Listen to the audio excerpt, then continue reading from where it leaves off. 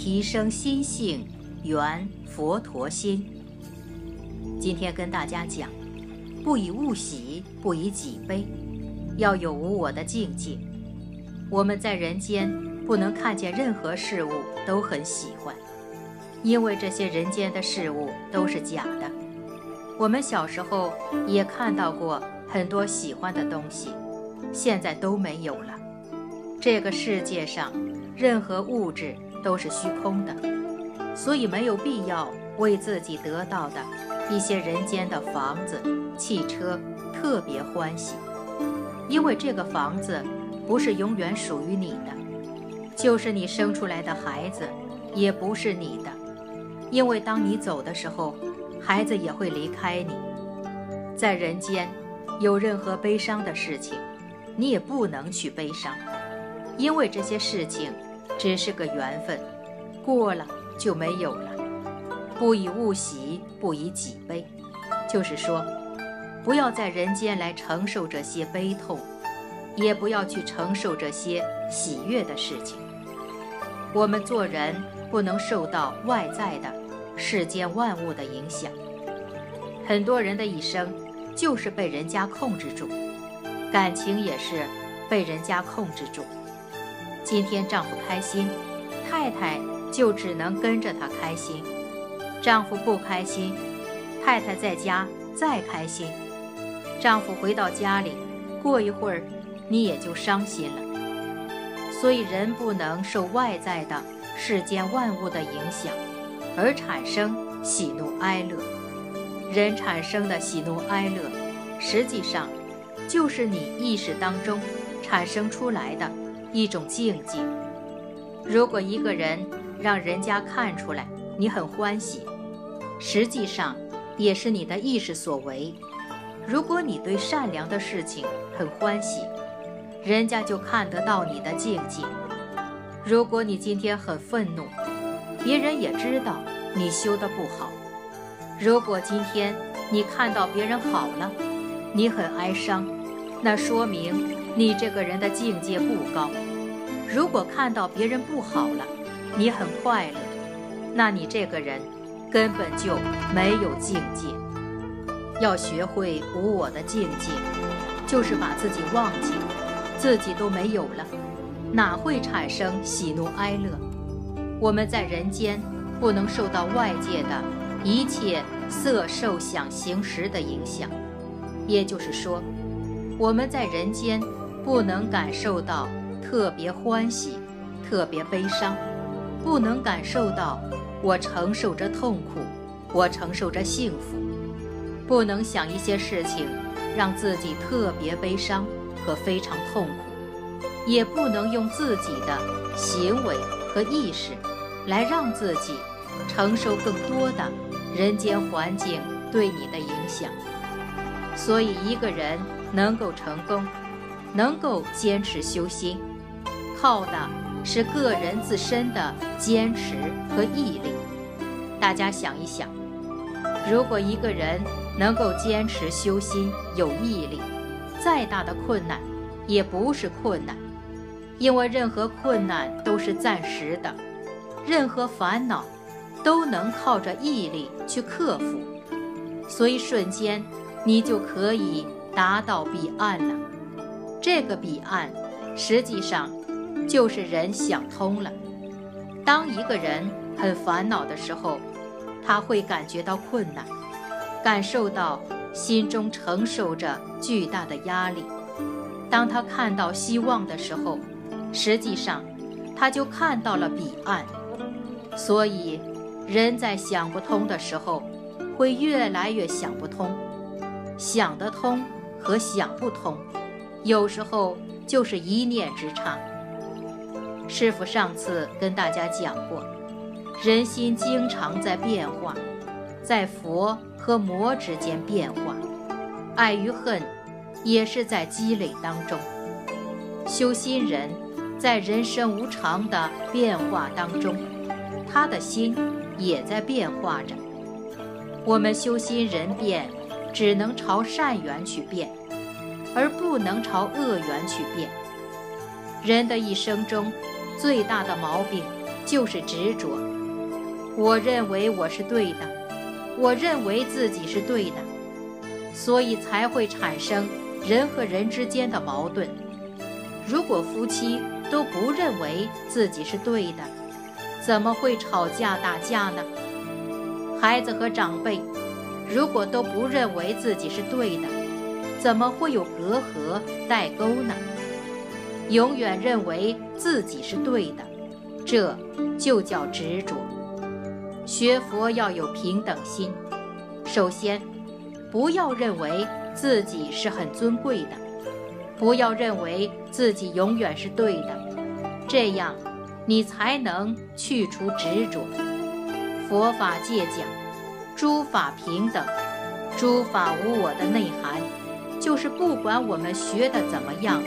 在人间的一切都是平等的，这个平等，不是说你的受用平等，而是在人生出来的时候，大家都是两手空空，从空开始，人间再怎么不平等，到了最后人要走的时候，每个人也是两手空空的离开这个世界，诸法无我。在这个世界上的一切都会空的，所以根本没有自己，没有自我的存在，这样才会法性同一。就是说，我们在人间所做的事情都是一样的。举个简单例子，大家在人间为了生存，生存到最后灭亡、死亡，一切都是因缘所为。所以因缘殊胜不同，能力越强，责任越大。家里如果父亲的能力强，父亲在家里的责任就很大；如果妈妈很能干，那么妈妈在家里的责任就很大。要懂得，念头非常重要，每个人的念头都能指导自己的一生。如果念头正，你的心。就静得下来。如果你的念头不正，你的心也停不下来。一个心能够静下来的人，他没有害人的心；心能够经常静得下来的人，他没有贪心。一个人的心静不下来，因为他贪了，他想做官了，他想要钱了，他想把别人的东西占为己有。他恨了，他愚痴了，他做了他自己不应该做的事情。这样的话，他就活在了不自由当中，而且丧失了自己生活的目标。你们去看，烦躁的男人，烦躁的女人，他一定很贪，他天天烦躁，他静不下来，他会很贪的，因为他没有得到。他想得到太多的东西了，最后没有得到，所以他的心就会慢慢的丧失意志，成为他所追求的这个事物和他所追求的这个人的奴隶。师父曾经在法会上讲，谁追求某一样东西，谁就会成为他的奴隶。今天你们追求钱，你们就成为钱的奴隶。你们今天追求一个房子，你们就成为房子的奴隶。为了买这个房子，拼命的去打工。你们今天为了孩子好，天天围着孩子转，是不是变成孩子的奴隶了？你为了追求这个女的，她叫你干什么，你就干什么。你是不是成了这个女人的奴隶？这一切都是人的。愚痴心所为，心不正，贪得多，所以要提升心性。提升心性是什么？就是要把自己的信心、良心和本性，慢慢的提升上来。我不贪，我不求，我觉得我够了，我很满足了。我现在活在世界上，我比太多的人过得要好。我自己已经活了一辈子，我的年纪这么大了，我就是贪的再多，那也是遗产。我没有必要再去拼命地追求这些得到后又要失去的东西。这样的话，你才能忏悔除掉你心中的心垢，心里肮脏的杂念都会没有。所以每个人都要忏悔。想得清净心，就要圆佛陀心。一个人如果想安静，就不要去伤害别人，不要去跟别人争斗。如果你做一个慈悲的人，你没有仇人，谁会来伤害你？那么你在人间就圆满了。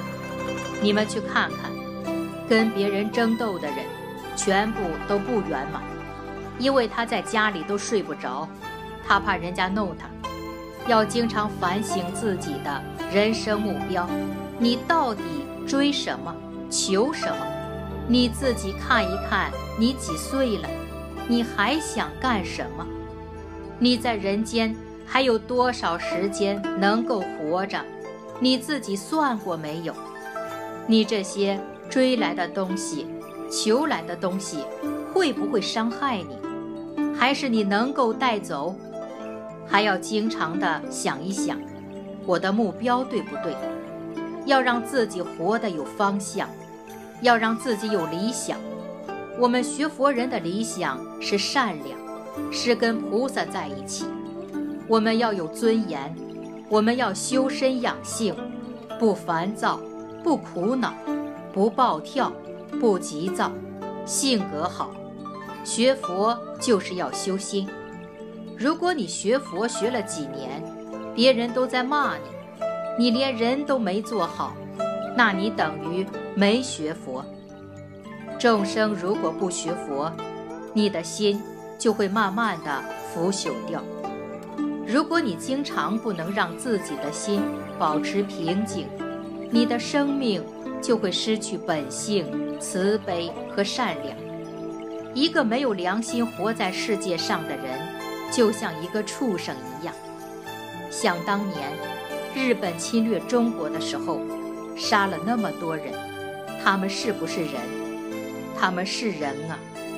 他们为什么又会杀人呢？因为他们没有良心。所以一个人活在世界上，天天为了名，为了利，忘记了自己真正的良心和本性。那么这种人就像动物一样。活在世界上，那就叫畜生心。所以人不能有着人的外壳，却做着畜生的事情。这就是中国传统文化上被称为衣冠禽兽。